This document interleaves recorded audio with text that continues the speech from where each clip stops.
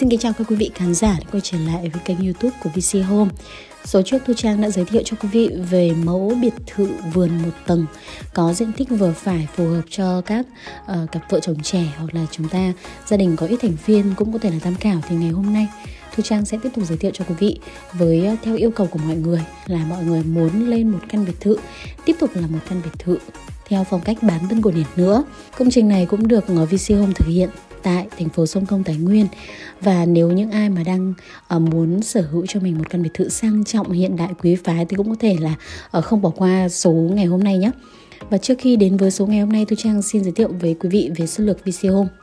VC Home là đơn vị thiết kế thi công chọn gói trên khắp 63 tỉnh thành. Dù cho quý vị đang ở miền Bắc, miền Trung hay là miền Nam thì cũng có thể liên hệ ngay qua số hotline của VC Home để uh, chúng tôi sẽ tư vấn trực tiếp cho quý vị về mẫu nhà mà quý vị yêu thích.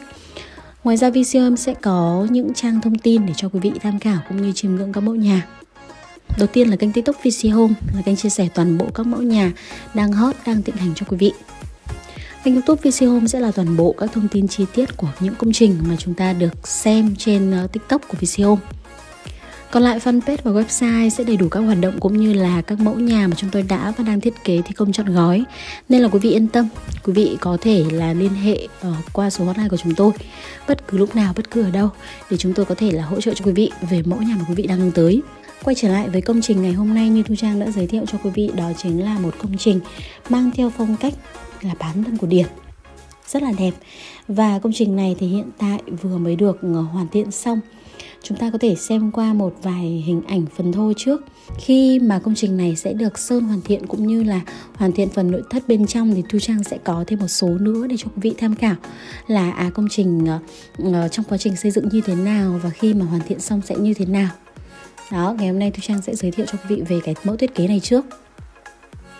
Công trình này thì được thiết kế với ờ, theo cái phong cách như là nhà lưu phố nghĩa là chúng ta có một cái khuôn viên đất nhỏ thì chúng ta cũng có thể là hoàn toàn xây dựng được công trình này rồi. Và với cái bố cục là hai tầng cũng có thể gọi là ba tầng cũng được. Uh, theo như phong cách thiết kế ban đầu thì sẽ là thiết kế hai tầng. Và sau những cái lần nghiên cứu thì chủ đầu tư có thích là thêm một cái tum nho nhỏ nữa. Thì với chiếc tum này chúng ta nhìn góc ở trên cao cũng có thể thấy là với chiếc tum này thì hoàn toàn cũng có thể tưởng tượng được là à cái khu vực này sẽ là khu vực sử dụng, gọi là, không gian phụ rồi, đúng không nào? Lát nữa chúng ta sẽ đi vào sâu công năng bên trong để xem là khu phụ này sẽ dùng cho cái gì. Còn lại nếu mà chúng ta muốn thiết kế thành hai tầng á, nghĩa là cái phần khu vực tung này chúng ta sẽ bỏ đi, thì hoàn toàn là vẫn cân đối thôi. Mẫu nhà này thì cũng rất là dễ dàng để cho chúng ta lựa chọn về hai tầng hoặc là ba tầng, đều rất là phù hợp. Mái thì vẫn tiếp tục được các chủ đầu tư lựa chọn sử dụng, ở đây là mái nhật rất là phù hợp, kể cả những cái mẫu phong cách hiện đại hay là mẫu phong cách tân cổ điển hay bản tân cổ điển, tôi chẳng thấy là mái nhật rất rất là phù hợp. Và màu sắc ở đây, có thể thấy là toàn bộ công trình đều được sử dụng màu là màu trắng sứ. Không nhất thiết là phải có những cái điểm nhấn màu sắc khác nhau và không nhất thiết là chúng ta phải ốp quá nhiều. Thì ngay tại đây, có một điều nổi bật ngoài cái màu trắng sứ đó chính là hệ thống cột ở trước sảnh.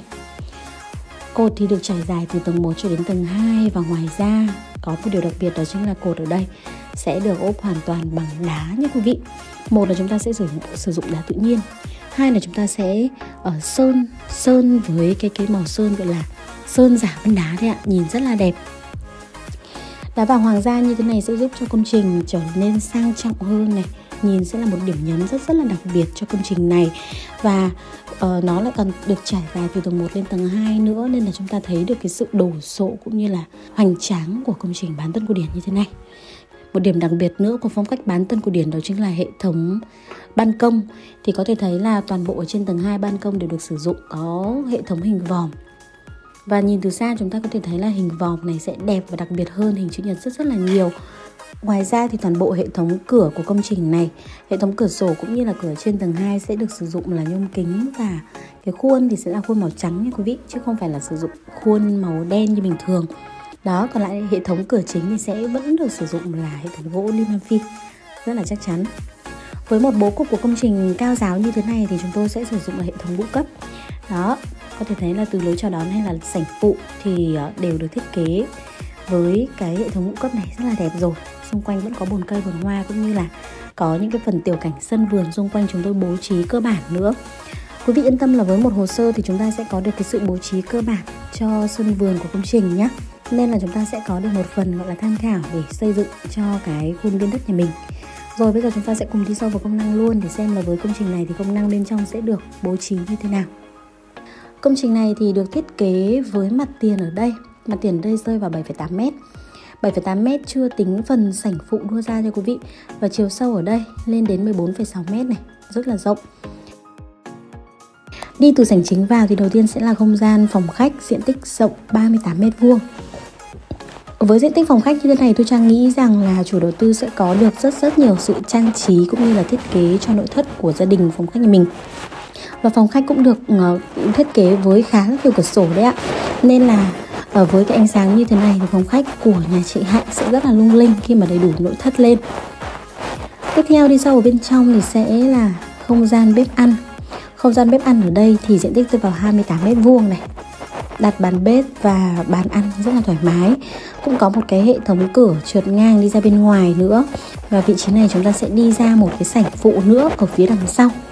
Vậy là công trình này cũng có ờ, ba uh, lối tiếp cận rất là rõ ràng dễ ờ, sử dụng đúng không ạ tại tầng 1 thì sẽ có một phòng ngủ diện tích rơi vào 19 m vuông và phòng ngủ này sẽ là phòng ngủ khép kín nha quý vị có vệ sinh riêng rất là rộng còn lại khi đi lên tầng 2 tầng 2 sẽ là không gian của các phòng ngủ và phòng thờ nữa Phía bên tay trái cầu thang sẽ là một phòng ngủ diện tích rơi vào 19 m vuông. Có một điều đặc biệt đó chính là tất cả các phòng đều là phòng ngủ khép kín, thuận lợi cho mỗi người sử dụng. Và đối diện cầu thang sẽ là một phòng sinh hoạt chung diện tích rơi vào 17 m vuông. Đây cũng có thể gọi là phòng đọc sách của cả gia đình. Một phòng ngủ tiếp theo diện tích cũng tương tự rơi vào 19 m vuông. Như Thu Trang vừa chia sẻ đó chính là có cả vệ sinh riêng nữa. Và phòng ngủ cuối cùng, phòng ngủ còn lại diện tích rơi vào 17 m vuông, cũng có ban công rất là thoáng. Có thể thấy là với công trình như thế này thì để ý đến cái cái cái gọi là mục đích sử dụng của người trong nhà rất là nhiều.